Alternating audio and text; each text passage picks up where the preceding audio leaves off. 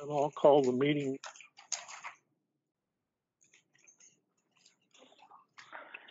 Um, you all have received a copy of the minutes of March the second and the Game and Fish Commission, and I would, uh, ask you all to approve those minutes. Do I have a Jeff, I need that packet of minutes on the table in there. Charles Burton, I approve the minutes. I, I move that the minutes be approved. I'll make a second. I have a motion and a second. Thank you, Ronnie. Uh, all those in favor say aye. Aye. Aye. Aye. Mr. All Chairman, those opposed, Mr. nay. Chairman, Sir, need to interrupt. Heather has to call the roll to take a voice vote. thank you. I need that education. I agree with you. No, no, hey, I do. Go for it. All right. Mr. Godfrey, Aye. Mr. Phillips, Aye. Mr. Burton, Aye. Mr. Luter, Mr. Rust, Aye. Mr. Townsend, Mr. Stanfield, Aye. Mr. Sales, Aye.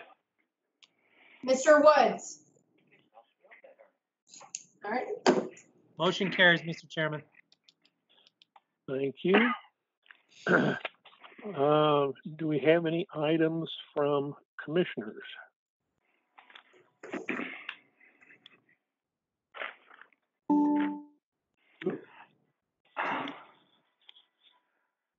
No items from commissioners? Um, who just joined? Bill Townsend. Good job, Bill. Thank you. Sorry I'm a few minutes late. I had a customer call. It'll work. Okay, with no new items from commissioners, items from staff. Go ahead, Scott. Um, I would like, even though this is like weird circumstances and nobody can see anybody, I'm excited to bring on board our new fish biologist, John Rayfield. Um, John is originally from Georgia. He's been working in Rhode Island. Um, he has a background in fisheries. Uh, I know he's worked up in Alaska and some other places. He's even done some shark wrangling. Uh, John is uh, I've been real impressed with what I've seen so far. John's been great. and He's working really hard out of the fish hatchery to get it all cleaned up and in order. So, uh, John, you want to say anything about yourself? Um, hi, my name's, uh, like I said, John Rayfield. I graduated in, from Georgia Southern in uh, 2014, and um, since then I have worked pretty much from the Bahamas all the way up the northern seaboard. Uh, I've also worked in Alaska with uh, salmon hatcheries, and so I'm, I'm excited to be here. There you go. Any of the commissioners have a question for our new fisheries biologist? I do. No, but go ahead. Was just wondering how Kitchen Lake's looking out there. Any more Mr. vandalism or, uh, Mr. Sales, yes, make, all all commissioners, if, if you have a comment or you have a question for the fisheries biologist, go ahead and state your name so that Heather can, uh, record it properly. Thank you. Okay, my name's Ronnie Sales, and I want to thank you for coming on board. And I would like to know at Kitchens Lake or any of the other lakes if you're having any trouble with vandalism, and if you are, if you're fixing it or what. Um, well, we did do a check on Kitchens Lake, I think before I got here, and everything seemed to be on the up and up with that one. Uh, Lake Crystal is, um, our one concern right now. We're having problems with, uh, people, uh, pulling off, uh, the plywood from the restrooms and going into there. And, um, basically, they're also making their own roads they kind of there's some potholes so they're driving around and making their own pathways Okay, kind of um, at that what we're seeing right now okay. John, this is Rick Godfrey. And uh, I'm absolutely delighted to have you down here. And I hope we have a good and long relationship because I've heard good things about you. So keep Well, it up. John, this is Yeah. Bill Townsend. All I just Hi, how welcome, glad to have you. Thank you. John, this is Charles Burton. Glad to have you here. I, I was wondering how how do you like Oklahoma City so far? Huh. I haven't gotten to see much of the city. I, I've been to the parks as much as possible, though. You know, all the social distancing going around. Right. So, uh, yeah. I've just been uh, hiking and taking the dog out whenever I get the chance. Yeah. Well, it's But glad to enjoyed have you here. John, this is Noble Stanfield. Glad to have you there, and I have one question for you. Yes, sir. Do you know how to fry fish? You're gonna ask about duck hunting. Yeah, yes, sir. I uh, um, I've fried a few fish before in my life. Well, we may have to use your services one of these days. Well, this is Bill Townsend again. If we're gonna talk Yes, about fishing, I wanna bring up, uh, fishing in Alaska. Yes, You know, sir. I, I'm old enough, I need somebody to help me. Amen. Help, help me. Okay, Mr. Chairman, I think we've moved on. We have. I'm, I'm on your side. Um, This is Ron Sales again.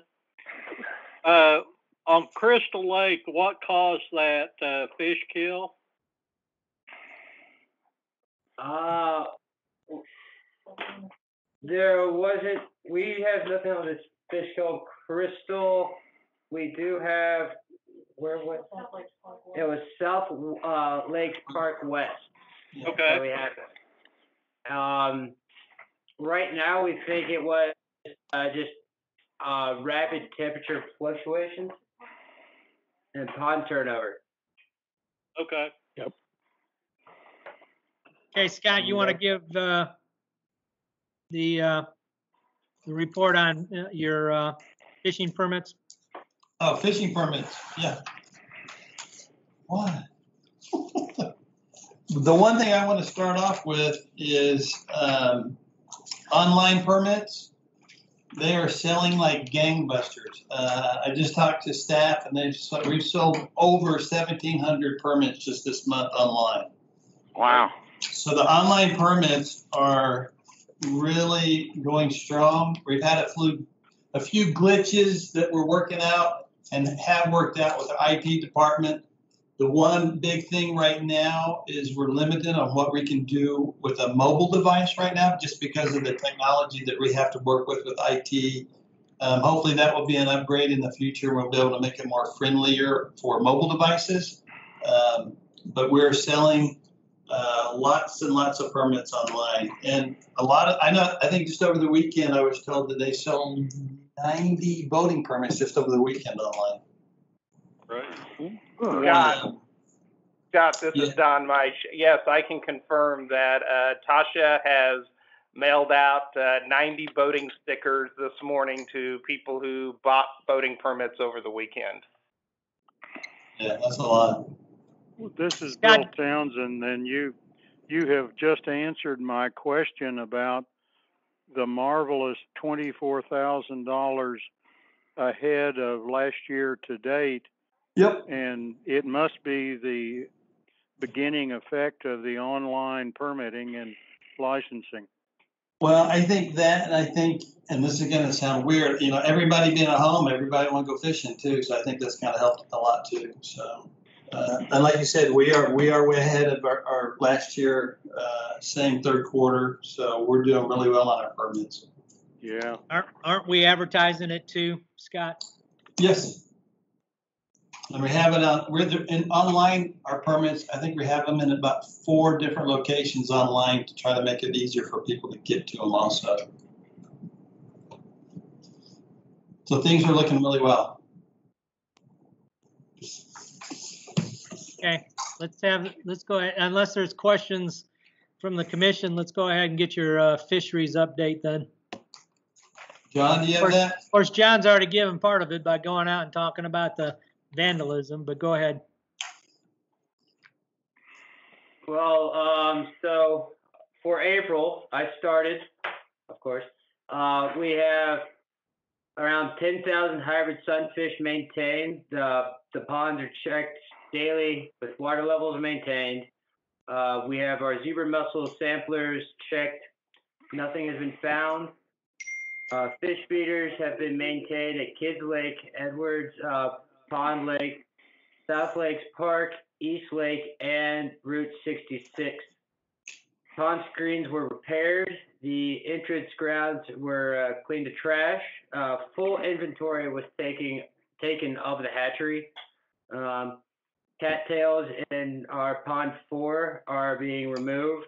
Um, Good. and uh, let's see, uh, we made a depth stick to be able to monitor our uh, water levels even closer.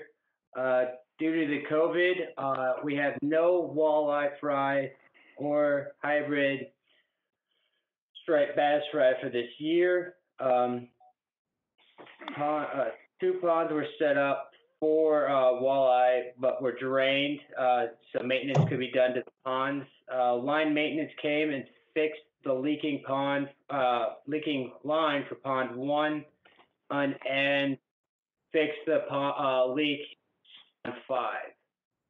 Um, aerators uh, for pond one, those stones were repaired, and aerator for pond three was turned on. We have no fish sampling done. Um, for habitat, we placed out 73 blocks We're placing Crystal Lake Pond, South Lake Park, East Lake, and Lake Draper. We mainly focused on ADA areas for wheelchair accessibility and kids to be able to get to them. We've also made another uh, 28 spider blocks to be uh, uh, put out later date. Um, no fish sampling. Um, other things were uh, uh, we did some um, housekeeping checks done on Edwards Pond Lake, Kitchen Lake Park, uh, and Crystal Lake Park, where bi-weekly housekeeping checks were done at Draper Lake, South Lakes Park, East Lake, Kids Lake, and Route 66. Uh, fish kill at Southwick was investigated. Roughly 50, uh, 500 gizzard shad, one bluegill, and one turtle were cleaned up. Zebra mussels uh, samplers at Lake Draper, Crystal Lake Park, Kitchen Lake Park, South Lakes Park, uh, East Kids Lake, and Edwards uh, Park Lake were checked. No zebra mussels were found. Aerators uh, were turned on at Edwards Park, and a work order has been placed in for the aerator at Dolese. Uh, they're still trying to figure out why the power is run there. Mm, that's it. Sounds good. Great. John, this is Bill Townsend. On the uh, cattails at the fishery, are we digging them out and using supplemental spraying? Uh, right now, I've drained and we are just basically digging them out with pitchforks at this moment. Um, we haven't done any spraying of any of the ponds that we don't have fish in at this moment. Okay. Thank you. You what, Keith? Yeah, this is Keith. Anybody that wants to grab a pitchfork and get in there, go right ahead. Woo!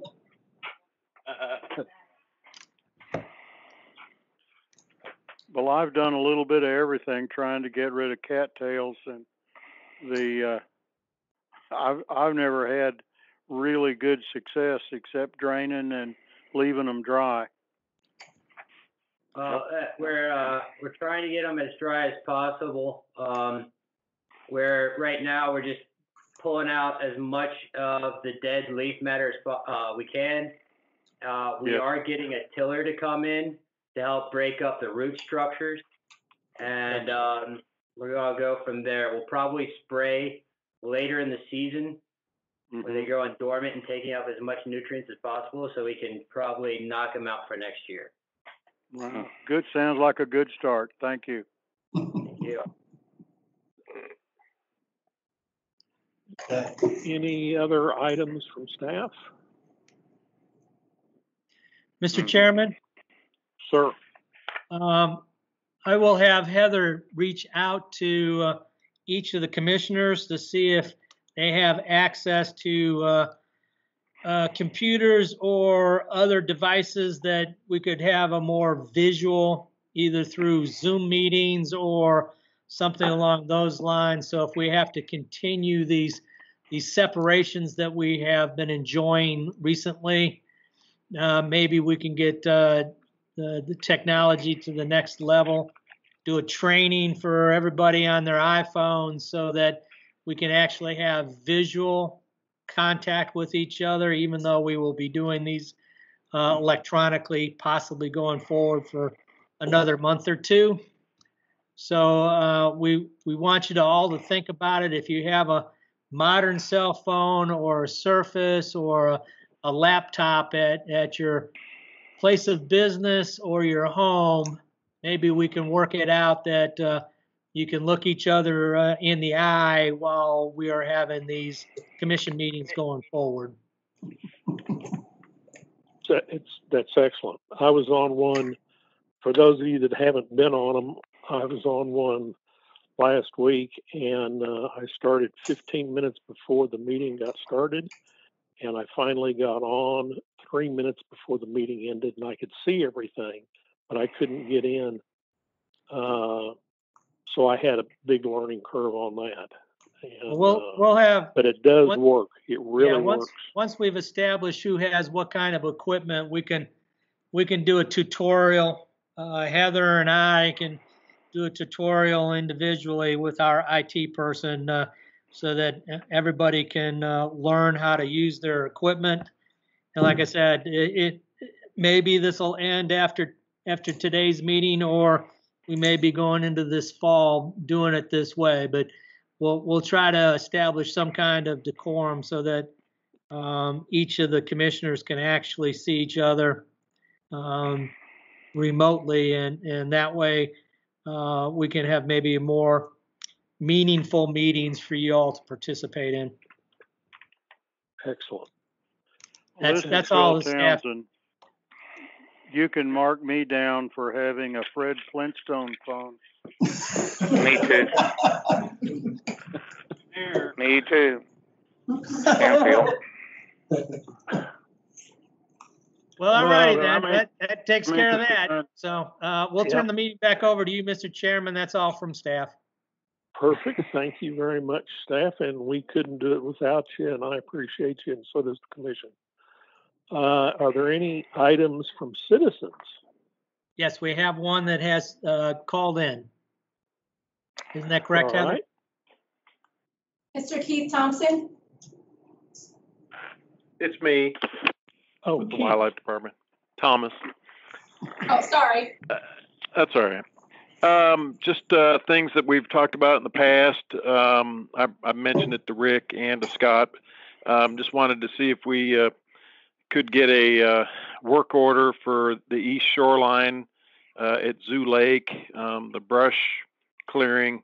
It's more than just mowing the grass, but uh, I was out there a couple weeks ago just taking pictures, and it was crowded with anglers, but they're packed shoulder to shoulder because there's no place to fish. Um, Hey, I, I mean, there's yes. Go ahead. Um, Doug Cupper, uh, that, that property is totally leased to the zoo. They Mhm. are responsible for maintenance. We could Right. have a conversation. I'd be happy to set up a meeting with the director and his landscape people, but, but, uh, it, it'd be beneficial if, if you had that conversation with, with, uh, Dr. Lawson over at the zoo, because, uh, Okay. we really don't have any jurisdiction in there. And, and, Okay. um, we've, we've tried to, they, they like it all natural for some reason. I don't know why, but, uh, I think we need to have that conversation uh, Yeah, I- I'd, I'd be happy to participate or set up the meeting, but I think you got to have a, a, a, conversation with uh, Dr. Lawson and his, his head of grounds so that uh, they understand the, the need to make that lake more accessible to the anglers. Okay, yeah, I realize that they're the the caretakers for over there, but uh, seems like we've talked to them in the past and nothing happened. Um, so I was just wanting to bring it up today, and and yeah, that's fine. If uh, if we can schedule a meeting, um, and uh, and even the Girl Scout uh, folks, uh, I I just want to know if they're uh, okay with uh, you know us being there as a close to home fishing site. I don't know uh, how much they're going to use the pond, but Well, But yeah, yeah, I think, be- I think the Girl Scouts be are nice planning to- on, yeah, the Girl Scouts are planning on using the lake, so it may be Yeah. fortuitous for us to have that conversation with Dr. Lawson now. Yeah, The- the- okay, th- This is Rick Keith. The uh, Mhm. scouts are interested in it. Right. Um, and the zoo has got an extra floating dock that they've Right. talked to me about in the past. yeah, Um, bringing it over to the east yeah. The Swan the boat for docks, them. yeah, Yes, right. exactly. And uh, so that would be beneficial if we get a Yeah. set up. Yeah, because Bob and I, I mean, we knew about that last fall or last summer, or whatever. Yes, but, it uh, was. We didn't do got anything on, but it. I'd hate to move them over to our side and then have the Girl Girl Scouts or somebody say, no, we don't want them. That is correct. That's exactly So- right. And it needs to be a conversation of all the parties. Yeah. So, um, okay, but yeah, just a meeting sometime, and and uh, I don't mi- I don't have uh, Mr. Lawson's uh, number, but I don't mind. We'll mind. get it, we'll get it set up up a meeting. Okay. Um, and then the other item I had was just, um, and I realize this is the River Trust bunch probably, but uh, uh, the dock, the courtesy dock that's on the western basin of O- Oklahoma River, it's uh, experienced some damage due to the drawdown for dredging. Um, the pencils or the spuds are bent, and there's some uh, pinching of the decking and the framework um, on the deck itself um, because it's it's it's just totally collapsed basically. Um, I'm afraid if it uh, if it if it ever fills up, um, or I haven't seen it recently, but uh, last time I took a bunch of pictures and I actually sent uh, a picture to Rick and to uh, Scott this morning, or just a few minutes ago actually. But um, I'm afraid that if it if the river comes back up when they're done, and I I think I visited with um, the public works gentleman Jim Llewellyn. Yeah, and he said they were just about done, and they were they were going to move move on down. I think, but uh, uh, I'm afraid if they fill it back up, that we won't be able to make repairs, or it'll just be damaged even more. Um, it'll be submerged, some of it. So, um, so I just wanted to bring that to everybody's attention, and and uh, I I, um, I don't think I don't know who to talk to on that really. So, but. Uh, just wanted to bring that up. So that's all I had. is there a contact on that? It's not Jim, is it? Yeah, it is. Is it? Okay. Yeah. Well, I've got his name, his email and phone number. I'll just give him a visit. But uh, he did tell me that uh, they are in the process of buying a dredge barge, I guess, that'll go down to 12 feet. So they, in the future, they hope that they will not have to drain the river for the water taxis, uh, for because I guess they were running aground um, and just general cleanouts, but uh, is what they've been doing. But but uh, yeah, this the the Western Basin has been down for a long time, and and uh, and yeah, the dock was damaged. So, but uh, in the future, hopefully, they don't have to do that anymore with this new boat. So, Well, we'll pass it on to the River Trust. okay, thank you. Mr. That's all I had. Thank you. Yes, sir. Uh, this is Bill Townsend. Since I joined late, I uh, missed the items from commissioners, and I'd like to add one thing. During the safe at home period, I made a point of going around and checking activities at Lake Hefner during the noontime. And I was amazed at the amount of usage uh, by citizens, bicyclers, sunbathers, you name it, fishermen. And uh, in observing all of the activity, I noted that the area itself was surprisingly clean. And I think staff deserves a round of applause and a pat on the back for taking care of it that well. It does Appreciate look very good, Bill. All right, any other items from commissioners? Any other items from staff? Uh, the meeting is adjourned.